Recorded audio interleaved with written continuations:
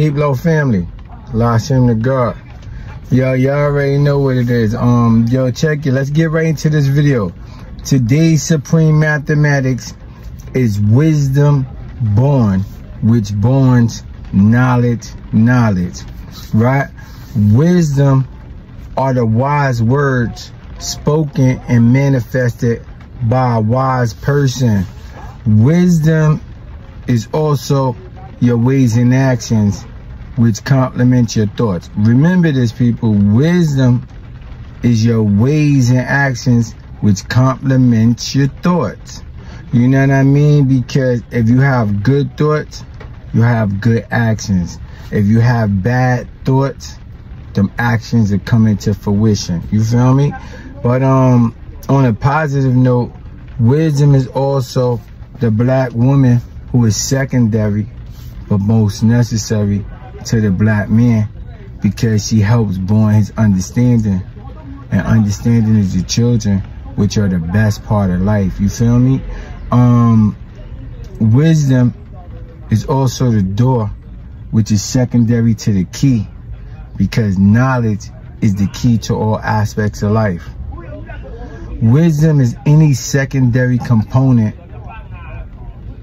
Wisdom is your physical composition, which is secondary to the mind, because mind created matter, and matter consists of solid, liquid, and gas. You feel me? Um, born is a new beginning. Born is also an ending. So like I was saying, born born is a completion of a cipher. That's why the numeral nine is symbolized with a circle with a line leading away from the circle because this cipher is complete. So you're leaving away from the cipher, you feel me? And born is also a new beginning because born is to bring into physical existence or bring your mental concepts and ideologies into existence, whether it be through uh, verbal correspondence, utilizing any vernacular, or actually creating something physically, whether it be media, any genre, you feel me? But, um, so that wisdom born because you making your wisdom born. You showing it to the world. You bringing it to existence. You starting with new beginnings. So that equals knowledge, knowledge. Now I want to get into this.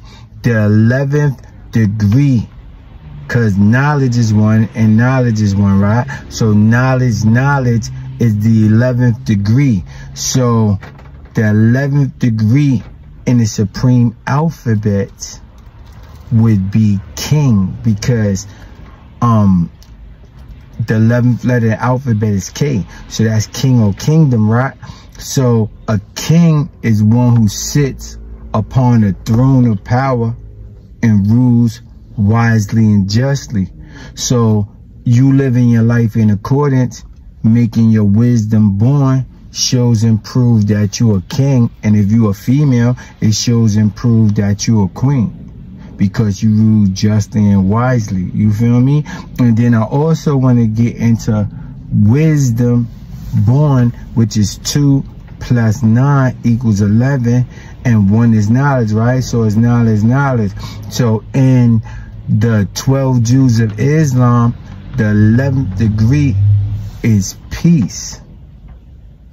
And peace is our divine way of life because Islam means peace. So I'm making my wisdom speaking to you through a verbal correspondence, through my ways and actions. I'm making that born to you because I'm bringing it to you and showing you my existence of God. So I'm making my wisdom born and it makes the situation peace. You feel me?